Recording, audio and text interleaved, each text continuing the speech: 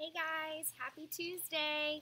I'm coming to you from Florida, which is um, where my parents live, and I was able to drive down here so that I could um, see my family.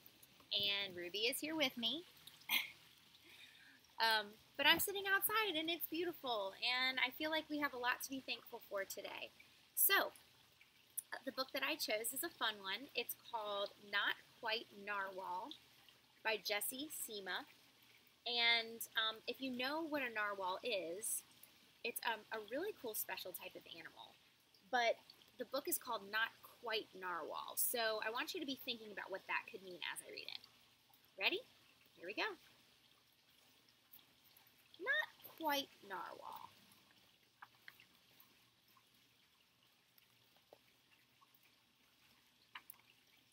Kelp was born deep in the ocean. So cute. He knew early on that he was different from the other narwhals. His tusk wasn't as long as everyone else's.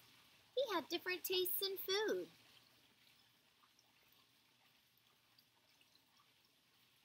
And he wasn't a very good swimmer.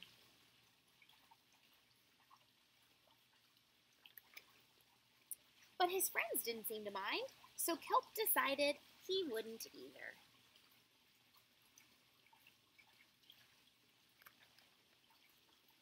That is, until he was swept away by a strong current. I wish I were a better swimmer.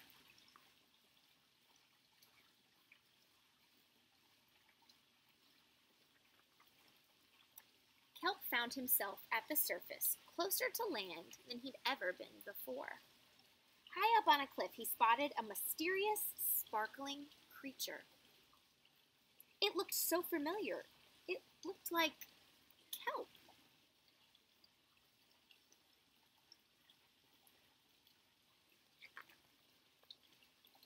Kelp swam toward land as fast as he could, which wasn't very fast at all, hoping that he could catch up with the creature that looked just like him. When he finally reached the shore, Kelp felt a little bit anxious. He had never left the ocean. He was nervous about walking for the first time, but the land creatures made it look so easy.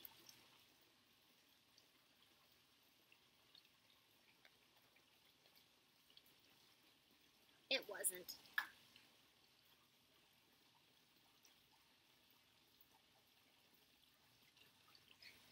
Love this.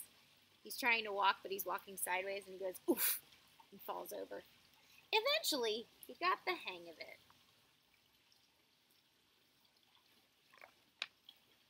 Everything on land was strange and beautiful, but also kind of scary. Kelp began to think he might never find the creature that looked just like him, but as he stumbled out of the forest,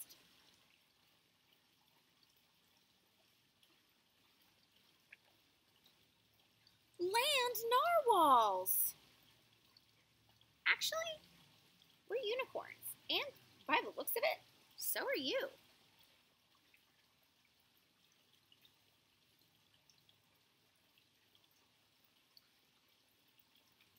Kelp had never heard of unicorns before. They taught him all sorts of new things about his tusk. We call them horns. Wow! They introduced him to unicorn delicacies. Unicone. And see the rainbow coming out of their horns. And they showed him how to gallop. There was no doubt that Kelp was, in fact, a unicorn. He was having so much fun that he didn't want to leave. But then he remembered all of his friends under the sea.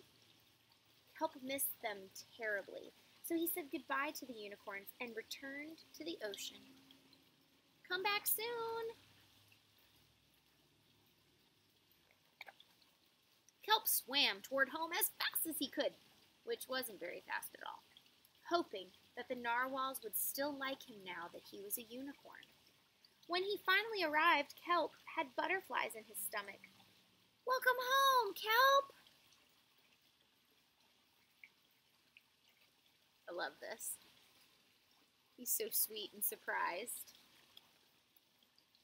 Kelp took a deep breath and told his friends the news. It, it turns out I'm not a narwhal. Of course you aren't.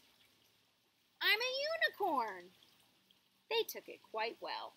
We all knew that. So they knew that all along. Hmm. Was happy to be home, but now that he'd experienced life on land with the unicorns, he couldn't seem to forget them. Did he want to be a land narwhal with the unicorns or a sea unicorn with the narwhals? Kelp couldn't decide. But then he realized that maybe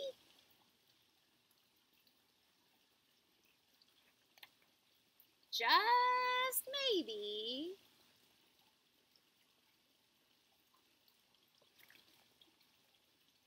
he didn't have to choose.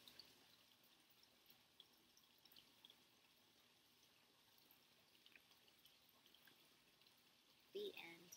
And this is really funny. See this rhinoceros? He says, I'm a unicorn. And Kelp goes, um. So maybe that's a sign that we're going to have another book. Super fun. I love this story. All right, guys.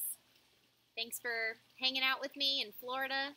And I hope everybody stays safe and healthy. And I will see you tomorrow. Bye.